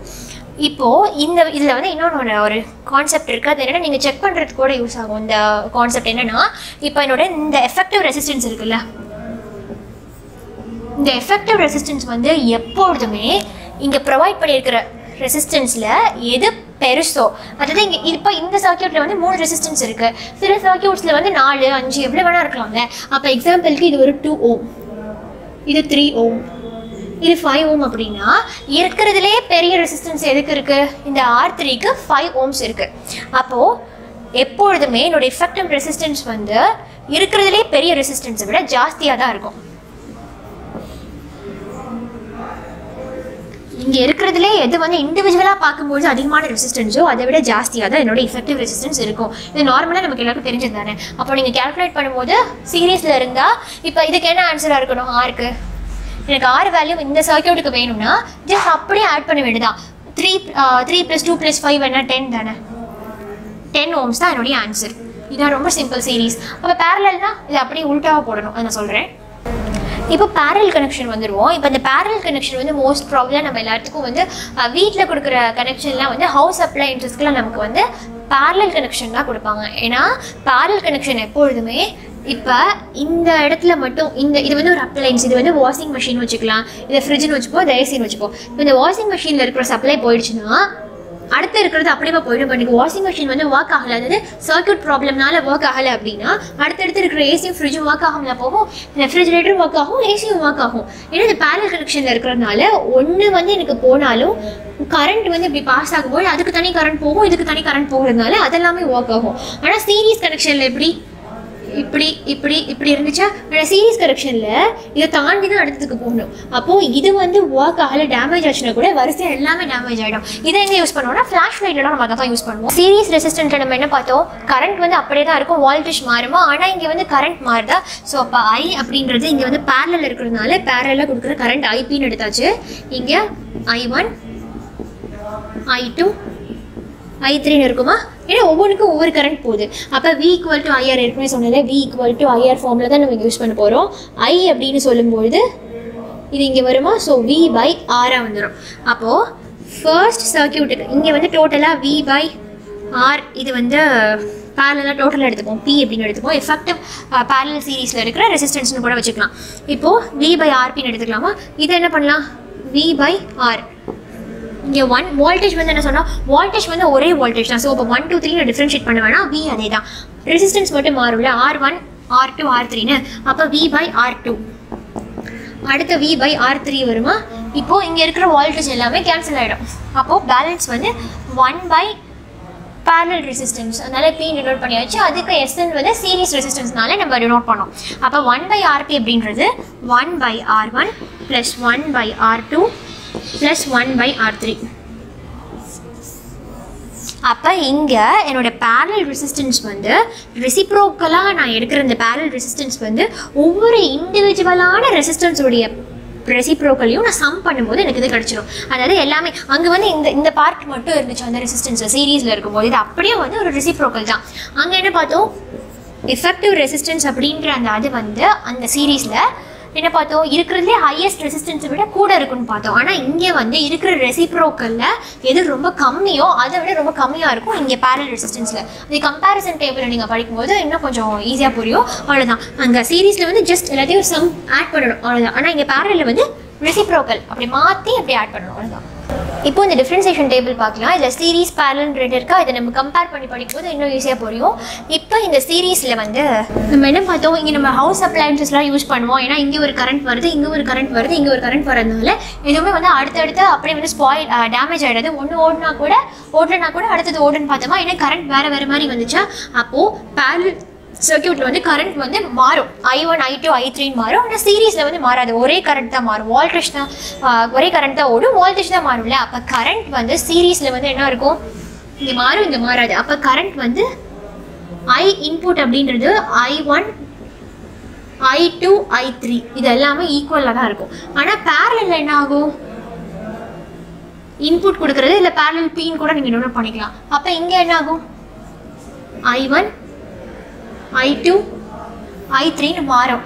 ஆனால் அப்படியே வந்து இன்வர்ஸாக வந்து வோல்டேஜ்க்கு எழுதணும் இங்கே வோல்டேஜ் என்ன ஆகும் அப்படின்னா V one V two V த்ரீன்னு இருக்கும். பட் இங்கே வோல்டேஜ் வந்து V one V two V three எல்லாமே ஈக்குவல் அதனால தான் ஒரே வி நாங்கள் சப்ஸ்டியூட் பண்ணியிருப்போம் இங்கே வந்து V one V two V three தனியாக போட்டிருப்போம். ஆனால் இங்கே வந்து வெறும் ஐ தான் போட்டிருப்போம். இங்கே ரெசிஸ்டன்ஸ் என்ன ஆகும் இதில் ஜஸ்ட் என்ன பண்ணணும்? Series ரெசிஸ்டன்ஸ்னால் R one R two R three அப்படியே ஆட் பண்ணணும். ஆனால் இங்கே எடுக்கும் போதே ஒன் பை ஆர் ஒன் ரெசிப்ரோக்கலாக தானே எடுப்போம். எடுக்கும் போது one by R one one by R two one by R three இன்னொரு ஒரு டிஃப்ரென்சியேஷன் என்ன? இதோட ஃபீச்சர் எப்படி இருக்கும்? எனக்கு வந்து ஒரு சர்க்யூட் வந்து டேமேஜ் ஆனால் கூட அடுத்தடுத்து இருக்கிற சர்க்யூட் வந்து ஒர்க் ஆகாது. ஏன்னா சீரீஸில் கனெக்ட் ஆகிருக்கு ஆனால் இங்கே பேரல் அப்படின்னாலே நீங்கள் வீடு தான் ஞாபகம் வச்சுக்கணும். வீட்டுக்கு வர அப்ளையன்ஸில் வந்து ஒரு எக்யூப்மெண்ட் அதாவது இப்போ என்னோட ஃப்ரிட்ஜ் வாஷிங் மிஷினை பார்த்தோம்ல இப்போ ஒன்று இல்லைனா கூட இன்னொன்று ஒர்க் ஆகும். அதாவது இப்போ இப்போ பேரலில் வந்து ஒரு சர்க்கியூட் ஒரு காம்பனன்ட் டேமேஜ் ஆனால் கூட அடுத்தடுத்து இருக்கிறது ஒர்க் ஆகும். இதனால டோட்டலாக வந்து ஸ்பாயில் ஆகாது. ஆனால் இங்கே சீரிஸ் கனெக்ஷனில் பார்க்கும்போது ஒன்று ஸ்பாயில் ஆனால் கூட அடுத்தடுத்து ஃபுல்லாக ஸ்பாயில் ஆகிடும் அதே மாதிரி அதுதான் ஃபீச்சரில் பார்த்தோமா?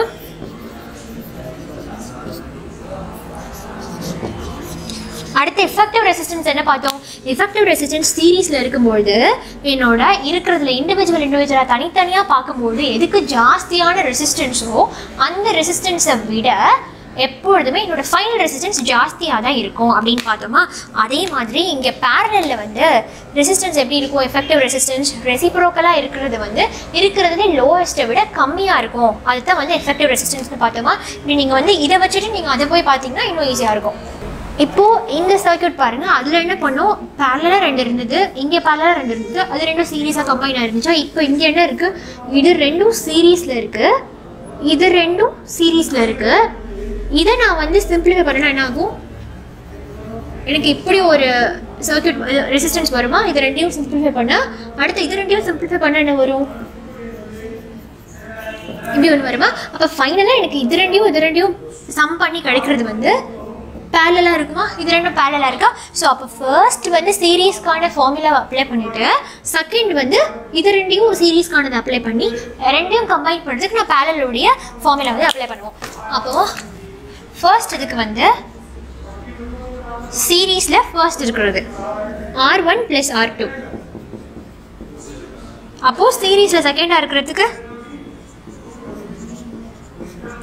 R three plus R four சீரீஸில் இருந்தால் ஜஸ்ட் சம் பண்ணுறது தான் ரெசிப்ரோக்கல் எதுவுமே கிடையாது. அப்போ சீரீஸ் ஒன் சீரீஸ் டூவோட கிடச்சிச்சா? அப்போ ஃபைனலாக இது ரெண்டும் பேரலாக இருக்குது அப்போது ஒன் பை ஏன்னா பேரல் அப்படின்னாலே ரெசிப்ரோக்கல் தான். அப்போ one by R total resistance எனக்கு வேணும் அப்படின்னா இந்த சீரீஸ் ஒன்லையும் இந்த சீரீஸ் டூவையும் தனித்தனியாக ரெசிப்ரோக்கல் பண்ணி சம் பண்ணணும் ஆட் பண்ணணும்.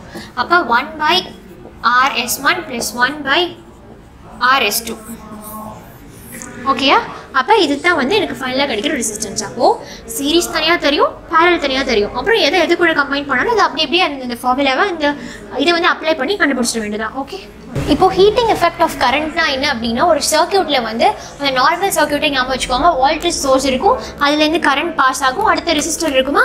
இப்போது இந்த கரண்ட் வந்து இதில் பாஸ் ஆகி வரும்பொழுது என்ன ஆகும்னா கண்டிப்பாக அங்கே கண்டக்டர் தானே இருக்கணும். கண்டக்டர் வழியாக தானே கரண்ட் பாஸ் ஆகும். அப்போ அந்த கண்டக்டர் என்ன ஆகும்னா ஒரு சர்டன் ஸ்டேஜ்க்கு அப்புறம் ஹீட் ஆகிடும் ஏன்னா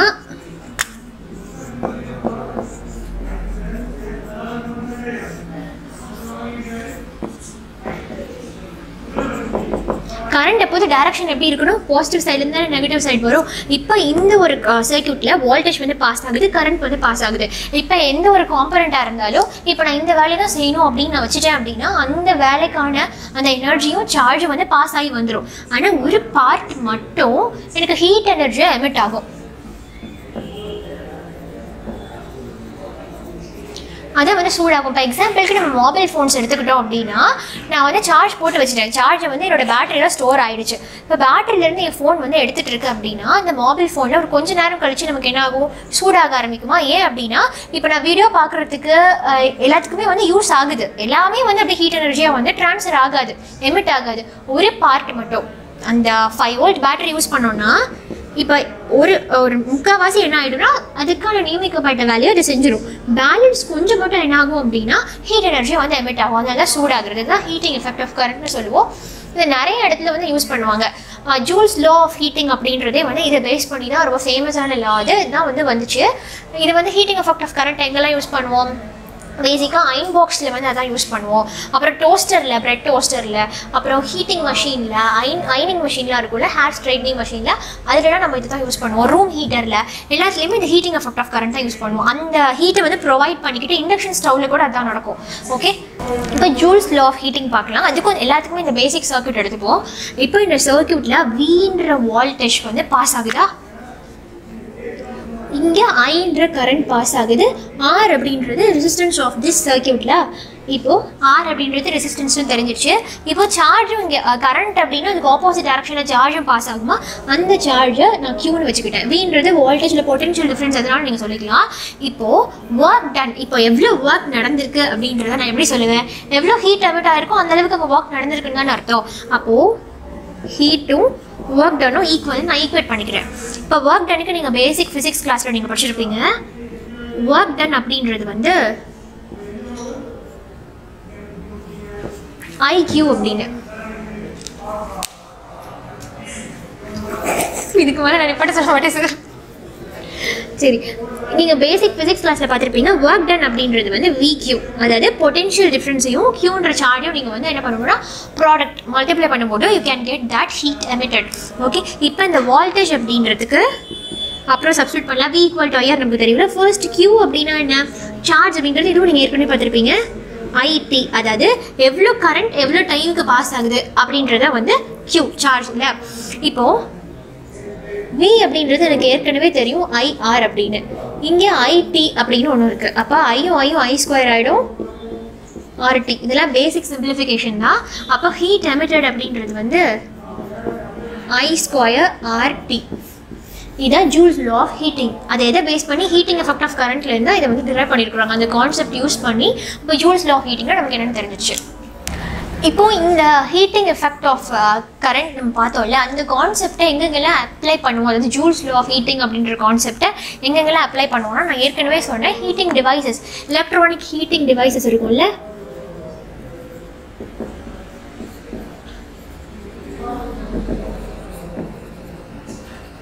டிவைசஸ்லாம் யூஸ் பண்ணுவோம். அந்த எலக்ட்ரானிக் ஹீட்டிங் டிவைசஸ்னால் என்னது?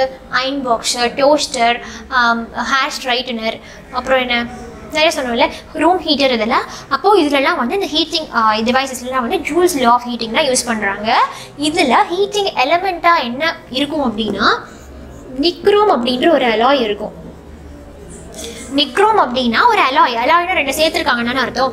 அப்போ என்ஐ அப்படின்னு சொல்கிற நிக்கல் அந்த எலமெண்ட்டையும் குரோமியம் சிஆர் தானே அதுக்கு சிம்பிள் குரோமியவையும் சேர்த்து தான் நிக்ரோம். இந்த நிக்ரோமையே வந்து ஹீட்டிங் எலமெண்ட்டாக பர்டிகுலராக வச்சுருக்குறாங்க அப்படின்னா இதுக்கு மெல்டிங் பாயிண்ட் ஜாஸ்தி ரெசிஸ்டிவிட்டியும் ஜாஸ்தி. அதனால தான் நம்ம நிக்ரோமை வந்து இங்கே ஹீட்டிங் டிவைஸாக யூஸ் பண்ணுவோம். அப்போ ஹீட்டிங் டிவைசஸ்லாம் என்ன இருக்கும்? மோஸ்ட் ப்ராபலாக நிக்ரோம் தான் இருக்கும். ஓகே வேறு எங்கே யூஸ் பண்ணுவோம்? ஃபியூஸ் வயரில் யூஸ் பண்ணுவோம். ஃபியூஸ் அப்படின்னாலே உங்களுக்கு ஒரு ஞாபகம் வர வேண்டியது என்னன்னா ஒரு சேஃப்டி டிவைஸ்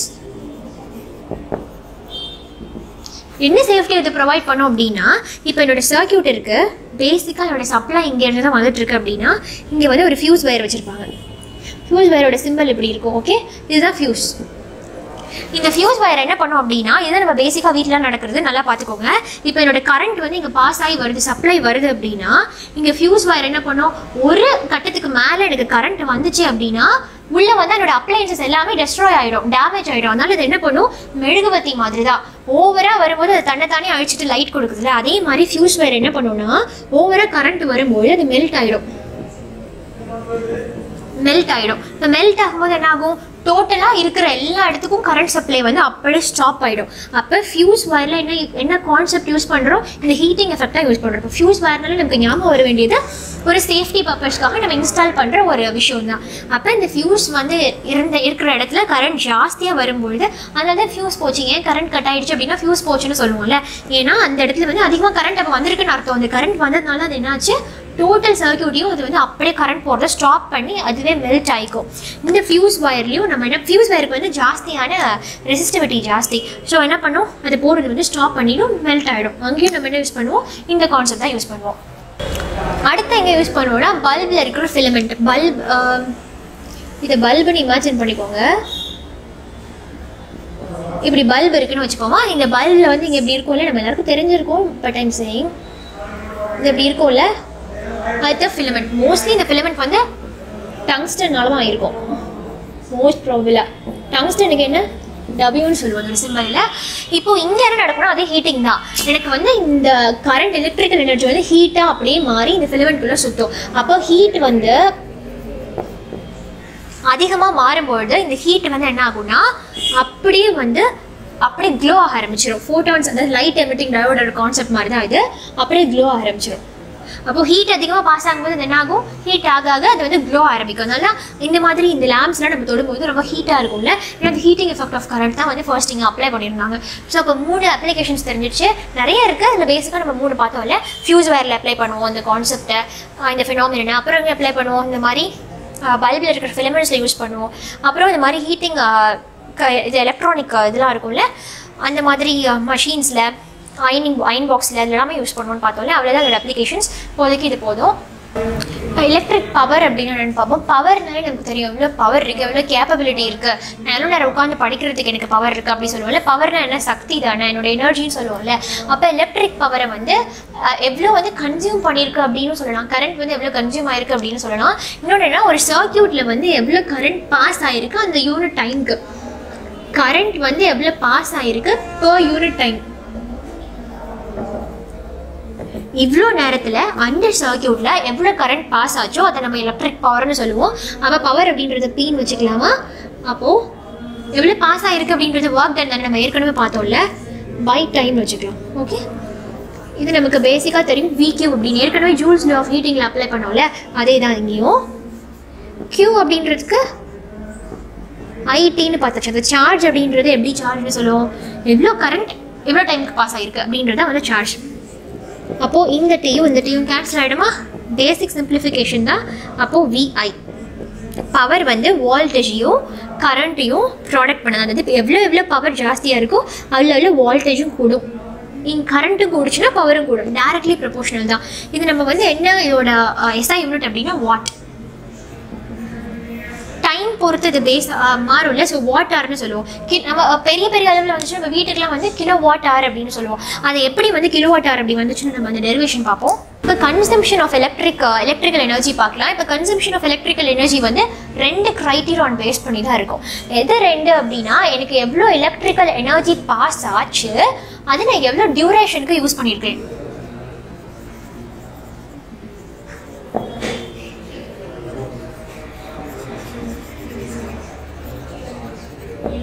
எவ்வளோ எலக்ட்ரிக்கல் எனர்ஜி பாஸ் ஆச்சு நான் எவ்வளோ டியூரேஷனுக்கு யூஸ் பண்ணியிருக்கேன் அப்படின்றது தான் நான் ஏற்கனவே சொன்னேன் வீடெல்லாம் வரும்போது பெரிய பெரிய அமௌண்ட் வரும்போது நம்ம kilowatt hour kilo watt hour அப்படி சொல்லுவோம்னு நான் சொன்னேன்னா அப்போ நான் டெரிவேஷன் பார்ப்போம்னால அது எப்படின்னா இப்போ ஒரு கிலோவாட் ஆர் அப்படின்றது வந்து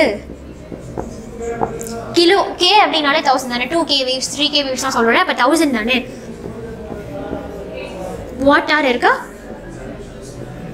இப்போது இதை நான் செகண்ட்ஸ் கொண்டு வரேன். இப்போ வந்து sixty minutes cross sixty seconds இதை நீங்கள் சிம்பிளிஃபை பண்ணிங்கன்னா three into ten to the power of six joules வரும். இப்போ ஒன் கிலோவாட் ஆர் அப்படின்றது வந்து three cross ten to the power of six joules ஓகேயா இதை தான் வந்து கன்சம் கன்சியூம் பண்ணுறது வந்து நம்ம இதை பேஸ் பண்ணி தான் நம்ம வந்து என்ன பண்ணுவோம்? கன்சம்ஷனை வந்து நம்ம டிரைவ் பண்ணுவோம். ஓகே ஃபர்ஸ்ட் என்னுடைய பேஸ் ஸ்டேஷன்லேருந்து ஃபர்ஸ்ட் என்ன ஆகும் அப்படின்னா பவர் வந்து என்னோட பவர் ஸ்டேஷன் பேஸில் இருக்கும்ல அங்கேருந்து வீட்டுக்கு வருமா வரது ஸ்ட்ரைட்டாலாம் வந்துடாது அங்கேயும் டிஸ்ட்ரிபியூட்டர்ஸ் யூஸ் பண்ணி தான் வந்து ட்ரான்ஸ்ஃபர் பண்ணுவாங்கல்ல. அப்போது இதான் என்னுடைய பவர் ஸ்டேஷன் அப்படின்னா வீட்டுக்கு வரும்போது ஒரு ரெண்டு திக்கான காப்பர் ஒயர்ஸில் தான் வந்து இதை வந்து அனுப்புவாங்க. ரெண்டு திக் காப்பர் ஒயர்ஸ் பவர் ஸ்டேஷன்லேருந்து எப்படி வரும்? ரெண்டு திக்கான காப்பர் வயர்ஸ் வெளியே தான் வரும். அப்படியே ஸ்ட்ரைட்டாக வந்துடாது அதுக்கு முன்னாடி எங்களுக்கு வந்து டிஸ்ட்ரிபியூட்டர்ஸ் தெருக்கு தெரு இருக்கும்ல அது இருக்கும். அதுக்கப்புறம் அந்த எலக்ட்ரிசிட்டி மீட்டர் இருக்கும். அப்புறம் மெயின் ஸ்விட்ச் இருக்கும். அதில் தான் இருக்கும் நம்ம சர்க்கியூட் பார்த்தா இன்னும் பேசிக்காக புரியும்னு நினைக்கிறேன். இப்போ நம்ம பேசிக்காக பார்த்தாச்சு பவர் ஸ்டேஷன்லேருந்து வர்றது வந்து வீட்டுக்கு வர்றது ரெண்டு திக் காப்பர் ஒயர்ஸில் தான் வரும்னு பார்த்தோமா? வந்ததுக்கப்புறம் மூணு ஒயர்ஸ் வந்து நம்ம இன்ஸ்டால் பண்ணுவோம். அதை ஒன்று என்னென்னா லைவ் ஒயர் இன்னொன்று என்னன்னா நியூட்ரல் ஒயர் எப்படி வந்து நமக்கு ஆட்டம்ல வந்து நியூட்ரான்ஸ் நியூட்ரலாக இருக்கோ அதே மாதிரி நியூட்ரல் ஒயர் நியூட்ரலாக தான் இருக்கும். அடுத்து வந்து ஏர்த் கனெக்ஷன் அந்த ஏர்த் கனெக்ஷன் அப்படின்றது நம்ம எலக்ட்ரானிக் காம்பனன்ட்ஸில் பார்த்தோமா எர்த் கனெக்ஷன் அப்படின்றது நம்மளுடைய சேஃப்டிக்காக கிரவுண்ட் பண்ணியிருப்போம். ஃபிசிக்கல் கனெக்ஷன் வச்சுருப்போம்னு. அப்போது இங்கே என்ன ஆகும்னா இப்போ ரெண்டு ஒயர் வருது அது சர்க்கியூட் ஆக்சுவலாக வரைஞ்சாச்சு. இப்போ இது வந்து லைவ் ஒயர்னு வச்சுக்கலாம். இந்த லைவ் ஒயர் தான் இது. இப்போ இது வந்து நியூட்ரல் வயர் இது என்ன ஃபியூஸ் ஃபியூஸ் நான் ஏற்கனவே சொன்னேன் ஃபியூஸ் வந்து கேண்டில் மாதிரி தான் அதுவே தன்னை அழிச்சுக்கும் அதாவது ரொம்ப அதிகமாக கரண்ட் வந்து சப்ளை ஆகும்பொழுது இது என்ன ஆகிடும் அப்படின்னா டக்குன்னு மெல்ட் ஆகி ஃபுல் கரண்ட் சப்ளையும் ஹோல் சர்க்கியூட்டுக்கும் ஸ்டாப் பண்ணிடும். அதனால தான் வந்து சில டைம் கரண்ட் போனால் ஃபியூஸ் போச்சுன்னு சொல்லுவாங்க அதனால வந்து ஃபியூஸ் இங்கே இருக்கிறதுனால. இது எலக்ட்ரிசிட்டி மீட்டர் வீட்டிலாம் வச்சுருப்போம்ல. இப்போ எக்ஸாம்பிளுக்கு ஒரு டூ ஃபிஃப்டி கிலோ வாட்டார் இப்படி சம்திங் ஏதோ ஓடிட்டு இருக்குன்னு வச்சுப்போம். எலக்ட்ரிசிட்டி மீட்டரில் இப்போ இதை வந்து ஏர்த் கனெக்ட் பண்ணியிருப்பேன் இது ஏர்த் கனெக்ஷன் இப்போ இதையும் இது எல்லாமே வந்து ஏர்த் கனெக்ஷன்ல இருந்து இது எல்லாமே இங்கே தானே ஃபைனலாக இது இங்கேருந்து வந்து ஏர்த் கனெக்ட் ஆகுது. இது இங்கேருந்து வந்து ஏர்த் கனெக்ட் ஆகுது. இது இங்கேருந்து வந்து ஏர்த் கனெக்ட் ஆகுதா? ஸோ பேசிக்காக வந்து எல்லாத்துலேயுமே ஒரு ஏர்த் கனெக்ஷன் ஒரு சேஃப்டிக்காக நான் வந்து வச்சுட்டேன். ஹார்ட் கனெக்ஷன் இல்லைன்னா அதெல்லாம் ஒர்க் ஆகுமான ஒர்க் ஆகும். ஆனால் வந்து இந்த மாதிரி பிரச்சனைகள் வரும்போது டக்குன்னு போயிடும். ஸோ இப்போ இது வந்து எலக்ட்ரிசிட்டி மீட்டரா இது வந்து மெயின் ஸ்விட்ச் மெயின் ஸ்விட்ச் இது. மெயின் ஸ்விட்ச் இது அப்ளையன்சஸ்னு வச்சுப்போம். அப்ளையன்சஸ் நமக்கு ஏற்கனவே தெரியும். எப்போதும் பேரல் கனெக்ஷனில் தான் இருக்கும் அப்படின்னு பார்த்தோமா ஏன்னா பேரல் கனெக்ஷனில் தான் வந்து ஒரு இதில் வந்து டேமேஜ் ஆனால் கூட அடுத்தடுத்த விஷயம்லாம் வந்து பாதிக்கப்படாதுன்னு சொல்லுவோம் ஸோ அப்ளையன்சஸில் என்ன இருக்கும்? பேரல் கனெக்ஷன் இருக்கும். இப்போது இந்த நியூட்ரல் ஒயர் வந்து எப்போ லைவ் ஒயரை வந்து டச் பண்ணுதோ அப்போ தான் ஷார்ட் சர்க்யூட்னு சொல்லுவோம். இந்த நியூட்ரல் வயர் வந்து லைவ் வயரை டச் பண்ணுதோ அப்போ தான் ஷார்ட் சர்க்யூட் ஆகும். சில டைம் அதனால் கரண்ட்லாம் வந்து நின்றும்ல அதாவது ஷார்ட் சர்க்யூட்னா நியூட்ரல் வயர் வந்து லைவ் வயரை கனெக்ட் டச் பண்ணுறது இப்போ எல்இடி பற்றி கொஞ்சம் எலாபரேட்டாக பார்க்கலாம். எல்இடி அப்படின்றது வந்து லைட் எமிட்டிங் டயோட்னு பார்த்தோமா? லைட் எமிட்டிங் டயோட் இதுவும் டயோட் தான். இது ரெண்டு டூ டெர்மினல் டிவைஸ் இது வந்து லைட் எமிட் பண்ணும். நார்மல் டயோடோட சிம்பிள் வந்து இந்த எமிட்டிங் சிம்பிள் இல்லாமல் இது. இந்த எல்இடிக்கு வந்து லைட் எமிட் பண்ணுற மாதிரி டயோட லைட் எமிட் பண்ணும். எப்படி அதோட ஹீட் எனர்ஜி வந்து ஃபோட்டானா அது வந்து ட்ரான்ஸ்ஃபர் பண்ணும் அப்படின்னு பார்த்தோமா ஹீட் எனர்ஜி வந்து ஃபோட்டான்ஸாக வெளியே வரதுனால லைட் வந்து க்ளோ ஆகுது. கலர் கலராக லைட்லாம் எரியும்ல க்ரீனு ப்ளூ ரெட் அப்படின்னா அது எதை பேஸ் பண்ணினா நான் என்ன டைப் ஆஃப் மெட்டீரியல் வந்து உள்ளே யூஸ் பண்ணுறேனோ அதை பேஸ் பண்ணி தான் கலர்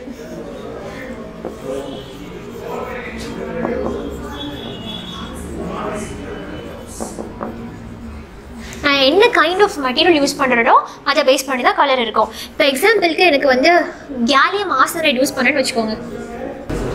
கேலியம் ஆசனைடும் கேலியம் பாஸ்பைடும் யூஸ் பண்ணணும்னு வச்சுக்கோங்களேன். அப்போ என்ன ஆகும் எனக்கு ஆரஞ்சு ரெட் க்ரீன் அந்த கலர்லாம் கிடைக்கும். அந்த மாதிரி ஒவ்வொரு சப்ஸ்டன்ஸ் யூஸ் பண்ணும்போது ஒவ்வொரு மெட்டீரியல் யூஸ் பண்ணும்போது ஒவ்வொரு கைண்ட் ஆஃப் கலர் கிடைக்கும். ஏன் நம்ம எல்இடி போகிறோம்னு சொன்னேன்? எல்இடி ஏன் போகிறோம்னா அது ரொம்ப கம்மியான பவர் கன்சியூம் பண்ணும்.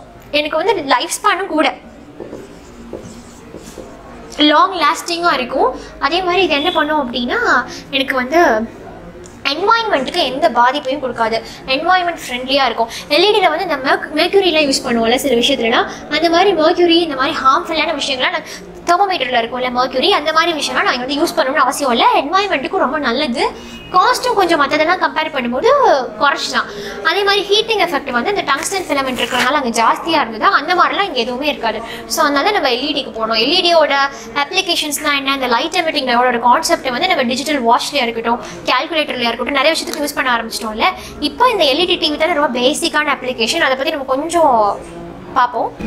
இப்போ எல்இடி டிவி அப்படின்றது வந்து ஆக்சுவலாக அந்த டிஸ்பிளேல என்ன இருக்கும் அப்படின்னா எல்இடி டிஸ்பிளேயும் இருக்கும். எல்சிடி டிஸ்பிளேயும் இருக்கும். இப்போ நம்ம பார்த்துட்டு இருக்கிற எல்இடி டிவினா அதில் எல்இடி டிஸ்பிளேயும் இருக்கும் எல்சிடி டிஸ்பிளேயும் இருக்கும். இந்த எல்இடி டிவியை ஃபர்ஸ்ட் யார் தெரியுமா? கண்டுபிடிச்சது? ஜேம்ஸ் மிஷல் அப்படின்றவர். ஜேம்ஸ் மிஷல் அப்படின்றவர் nineteen seventies if am not wrong அது நைன்டீன் செவன்ட்டி செவன் நினைக்கிறேன் எஸ் நைன்டீன் செவன்ட்டி செவனில் ஜேம்ஸ் மிஷல் அப்படின்றவர் தான் வந்து எல்இடி டிவியை வந்து கண்டுபிடிச்சது. நம்ம கலர் கலராக எல்இடிலாம் பார்க்குறோம்ல அப்போ வந்து பிளாக் அண்ட் ஒயிட்டில் தானே இருந்துச்சு. ஒரு கலர் தானே தெரிஞ்சது. ஸோ அதனால் அவர் கண்டுபிடிச்சது வந்து ஃபர்ஸ்ட் அவர் கண்டுபிடிச்சது வந்து மோனோக்ரோமேட்டிக் டிஸ்பிளே மோனோக்ரோம் டிவின்னு சொல்லுவோம். பேர்லேயே இருக்கு. மோனோனா ஒன்று க்ரோம் அப்படின்னா கலர் அப்படின்னு சொல்லுவோம். அப்போ மோனோக்ரோம் டிவினா ஒரு கலர் மட்டும் இருக்கிறது. இப்போ நம்ம பார்க்குற நிறைய நிறைய கலர்ஸ்லாம் இருக்குல்ல ப்ளூ ப்ளூ க்ரீன் அந்த ரெட் எல்லாம். அது வந்து நம்ம வந்து கலர் டிவின்னு சொல்லுவோம். அப்போ இது கலர் டிவி அது வந்து கலர் டிவி எப்போ வந்துச்சு தெரியுமா? சோனி வந்து ஒரு தேர்ட்டி இயர்ஸ்க்கு அப்புறம். ஒரு நைன்டீன் டூ தௌசண்ட் நைனில் ஃபர்ஸ்ட் கலர் டிவியை வந்து யார் கமர்ஷியல் யூஸ்க்கு கொண்டு வந்ததுன்னா சோனி கம்பெனி சோனி கம்பெனி தான் ஃபர்ஸ்ட் கலர் டிவி வந்து கொண்டு வந்து இது அதை விட பெருசாக வேறு எதுவும் தெரிஞ்சு போயிடுது அப்புறம் இன்னொன்று வந்து என்னன்னா இப்போ எல்இடியில் வந்து பிக்சல்ஸ் சொல்லுவோம்ல பிக்சல்ஸ்னால் எதை வச்சு? பிக்சல்ஸ் ஜாஸ்தி ஆக ஆக நமக்கு கிளாரிட்டி ஜாஸ்தி ஆகுமா? அப்போ பிக்சல்ஸ்னால் ஆக்சுவலாக என்ன அப்படின்னா ஒரு டயோட்ஸ் இங்கே லைட் எமிட்டிங் டயோட்ஸ்னால் இப்படி அரைவா நிறைய வந்து நான் ரோஸ் அண்ட் காலம்ஸில் வந்து அரேஞ்ச் பண்ணியிருப்பேன் அப்போ எவ்வளோ ரோஸ் அண்ட் காலம்ஸ் வந்து ஜாஸ்தி ஆகுதோ அவ்வளோ அளவுக்கு எனக்கு கிளாரிட்டி கூடும். இந்த இந்த அரே வந்து அரேனா என்னது? இப்படி அரேஞ்ச் பண்ணியிருக்கிறதால அரேஞ்ச் சொல்லுவோம். அப்போ அரே ஜாஸ்தி ஆக எவ்வளோ ரோஸ் அண்ட் காலம்ஸ் கூடுதோ அவ்வளோ அளவுக்கு என்ன இருக்கும்? கிளாரிட்டி இருக்கும். அதான் நம்ம என்ன சொல்லுவோம்? பிக்சல்ஸ் எல்இடி டிவி வந்து நம்ம ஏன் போனோம்னா அந்த எல்இடியோட இருக்கிற இந்த அட்வான்டேஜஸ்னால தான் எல்இடி டிவி வாங்கணும் அதே தான் இங்கேயும் இருக்கும். மற்றதெல்லாம் விட காஸ்ட் வந்து கம்மி. நமக்கு வந்து ரொம்ப காம்பேக்ட் சைஸில் இருக்கும். ரொம்ப எப்படி சொல்கிறது ஸ்லீக்காக ஸ்லிம்மாக டிசைன் இருக்கும். அதே மாதிரி நமக்கு லைஃப் ஸ்பேனும் கூட ரொம்ப நாள் வரும். ரிலையபிளாக இருக்கும். நம்பி வாங்கலாம். ஸோ அதனால நம்ம எல்இடி டிவி வந்தோம். இப்போ நம்ம பேசிக்காக வந்து எலக்ட்ரிசிட்டின்ற கான்செப்ட் வந்து கம்ப்ளீட் பண்ணியாச்சு. எப்படி நம்ம பேசிக் ஆட்டமில் எலக்ட்ரான்ஸ் இருக்குது அப்படின்றதுலேருந்து எலக்ட்ரானிக் சர்க்கியூட்னா என்ன? அதில் இருக்கிற காம்பனன்ட்ஸ் என்ன? பவர்னா என்ன? அந்த லாஸ்னா ஜூல்ஸ்லாம் என்ன? ஓம்ஸ்லாம் என்ன? ஓம்ஸ்லாம் கண்டிப்பாக பார்த்துக்கோங்க ஓம்ஸ்லாம் தான் நம்ம வந்து எங்கே பார்த்தாலும் அப்ளை பண்ணுவோம். எப்படி வந்து நான் ஏற்கனவே சொல்லிவிட்டேன் எப்படி ஐன்ஸ்டனோட equation E is equal to MC MC square இம்பார்ட்டண்ட்டோ அதே மாதிரி இதுவும் ரொம்ப ரொம்ப ரொம்ப இம்பார்ட்டன்ட் ஓகே நீங்கள் நல்லா பார்த்துக்கோங்க. ஹோம் என்ன தெரிஞ்சிச்சு. ஹீட்டிங் எஃபெக்ட்னா என்ன? ஜூல்ஸோடைய ஹீட்டிங் லா வந்து எதை பேஸ் பண்ணி வந்துச்சுன்னு பார்த்தாச்சு. அதோட அப்ளிகேஷன் என்னன்னு பார்த்தாச்சு. அப்புறம் ரெசிஸ்டன்ஸ் வந்து நம்ம குரூப் பண்ணுவோமா? சீரிஸ் பேரலாக குரூப் பண்ணுவோமா? அதில் எப்படி நம்ம வந்து சிம்பிளிஃபை பண்ணுறது அப்படின்னு பார்த்துட்டோம். அதை பேஸ் பண்ணி கொஸ்டின்ஸ்லாம் வரும் பார்த்துக்கோங்க. அப்புறம் வந்து எல்இடி டிவினா என்ன? அது எங்கெல்லாம் யூஸ் ஆகுது? எல்இடி டிவியில் என்னென்ன பேசிக் பிரின்சிபல்ஸ்லாம் என்னென்னு பார்த்தாச்சுல? ஓகே அப்புறம் எப்படி நமக்கு வந்து டிஸ்ட்ரிபியூட் ஆகுது. டொமஸ்டிக் பர்பஸ்க்காக நமக்கு எப்படிலாம் வந்து பவர் கரண்ட் வந்து டிஸ்ட்ரிபியூட் ஆகுதுன்னு பார்த்துட்டோம். அதனால் இந்த கான்செப்ட் வந்து ரொம்ப ஈஸி நல்லா பார்த்துக்கோங்க. இப்போ எலக்ட்ரிசிட்டினா என்னென்னு ஒரு ஃபர்தர் ஓவர்வியூ பார்த்தாச்சுல. இப்போ அடுத்த செஷன் வந்து நம்ம அடுத்தடுத்த புது புது டாபிக் போகலாம் அது வரைக்கும் உங்களுக்கு ஸ்டேட்யூன் அடுத்தடுத்து நீங்கள் வேணும்னா பெல் பட்டன் கிளிக் பண்ணிக்கோங்க. லைக் பண்ணுங்கள் ஷேர் பண்ணுங்கள் சப்ஸ்கிரைப் பண்ணுங்கள் தேங்க்யூ